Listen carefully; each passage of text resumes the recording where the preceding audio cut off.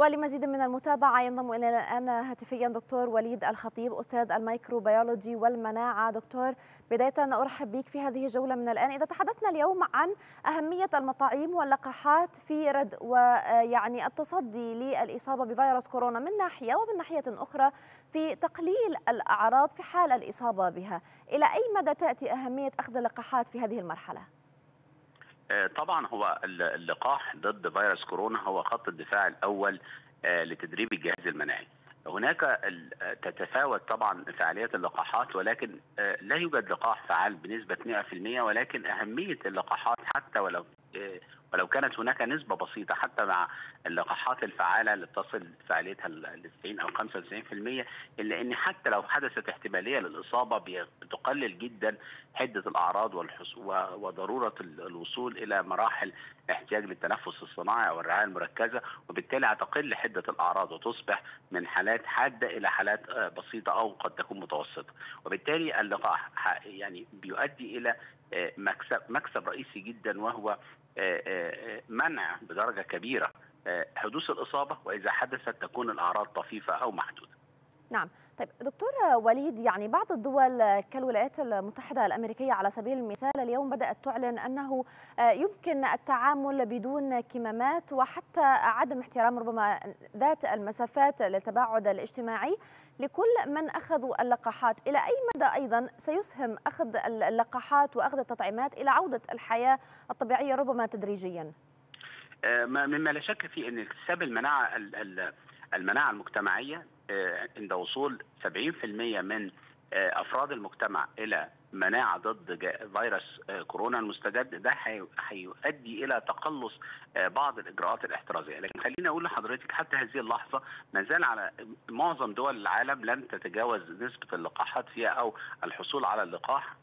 أكثر من 10% بل هناك إحصائية عامة مثلا في في بعض القارات قد تصل لأقل من ذلك الحقيقة في النسب دي. وما زلنا إحنا بنتكلم على إن لابد بالرغم من إجراء عمليات تطعيم واسعة وشاملة. وورود طبعا من من الأحداث الهامة جدا وصول بورود بالأمس أكثر من مليون 760 ألف جرعة من اللقاح لمصر. وده وده خبر الحقيقة وحدث هام جدا بيشير إلى مواصلة تدفق اللقاحات إلى مصر بناء على الاتفاقيات اللي تمت مع جهات مختلفة منها برنامج كوفاكس والتحالف الدولي للقاحات.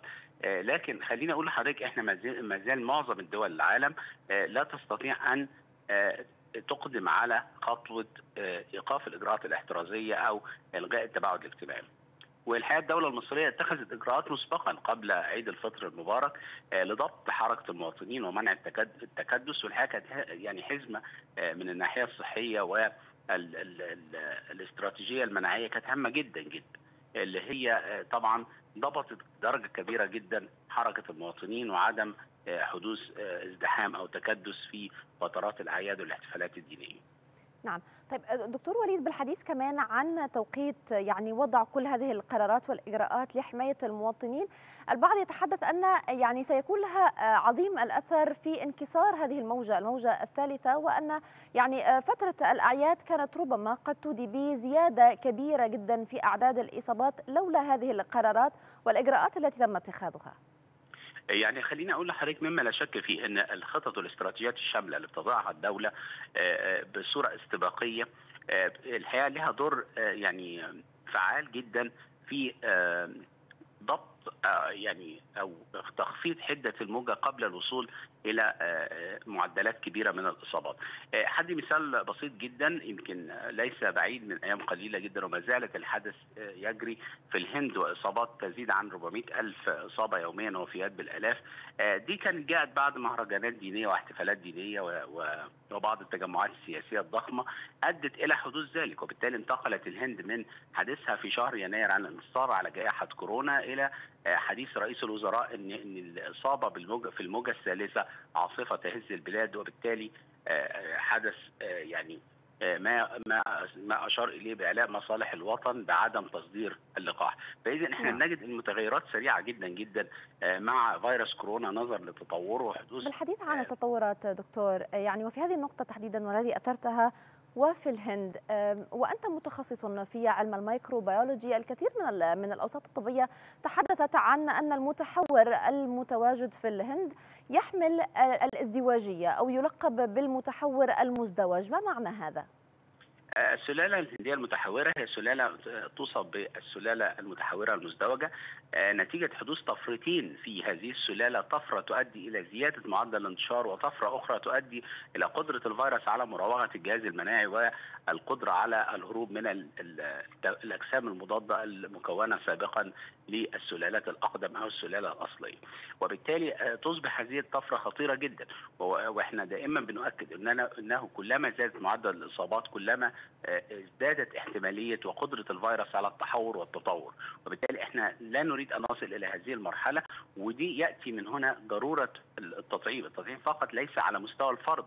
أهميته على مستوى الفرد لمنع الإصابة أو تخفيض حدة الإصابة عند حدوثها ولكن على المستوى المجتمعي وعلى المستوى العالمي ده بيقلل جدا من احتماليات حدوث طفرات مثل هذه الطفرات الخطيرة. والحقيقة الطفرة الهندية الطفرة الرابعة. توقع قبل كده ثلاث طفرات طفرة الطفرة البريطانية طفرة جنوب أفريقيا طفرة البرازيل. الطفرة الرابعة دي هي طفرة خطيرة جدا الحقيقة طفرة الهند وسجلتها أكثر من 21 دولة حتى الآن حول العالم وصولها. وما فيش دولة الحقيقة دائما بنقول إن الفيروسات والأمراض والميكروبات ليس لا لا, لا تحجبها حدود دولية. ولا تحتاج إلى جوازات سفر للانتقال من دولة إلى دولة أخرى. ولذلك يجب أن يكون نكون جميعا وجميع دول العالم على يقظة تامة وحرص واتخاذ الإجراءات الاحترازية وما زلنا في أشد الحاجة طيب دكتور وليد وأنت تتحدث عن متحورة الهند. يعني كما ذكرت أن طرأت عليها أو طرأ عليها تغيرين أحد هذين التغيرين هو تغير فيما يخص التصدي ربما للأجسام المضادة الذي يولدها جهاز المناع المناعي البشري. إلى أي مدى أيضا يمكن أن تؤثر هذه يعني هذه التغيرات التي طرأت في الهند على قدرة الفيروس على ربما التصدي للقاحات؟ وهل هذا وارد؟ بالطبع هو الحقيقة حتى الآن إن معظم اللقاحات التقارير العلمية والتجارب المختبرية بتشير إلى إن اللقاحات ما زالت فعالة. ولكن تكرار حدوث الطفرات قد يؤدي إلى انخفاض في فاعليه اللقاح. خلينا نؤكد هنا إن انخفاض الفاعليه لا يعني إلغاء الفاعليه بالكلية ولكن هي نقطة تحجم من قدرات يعني لما نقول فاعليه اللقاح مثلا 90% إذا انخفضت وبقت 85 أو 80% هذا لا يعني أنه اتلغت فاعليته ولكن خلينا نكون حذرين أن كلما تطورت السلالات كلما ممكن حدثت بعض التغيرات على سطح الفيروس منها البروتينات الشوكية على سبيل المثال اللي الأجسام المضادة السابقه اللي تكونت قد لا تكون بنفس الفاعلية تجاه تجاه السلالات الأحدث ولكن ما زال هناك الفاعلية موجودة قد يكون هناك مع الوقت إصدارات مختلفة من اللقاحات تتم تغيير بناء على تغيرات الشفرة الوراثية التي تحدث في الفيروسات المتحورة.